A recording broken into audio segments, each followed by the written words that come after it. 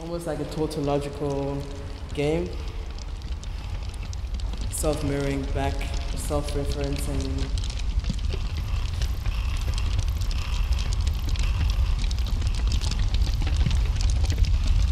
Fervorless motion.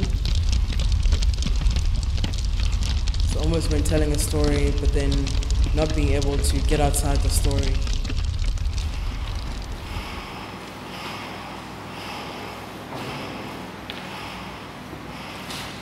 Remaining somehow in the periphery of it. Yeah. Cool.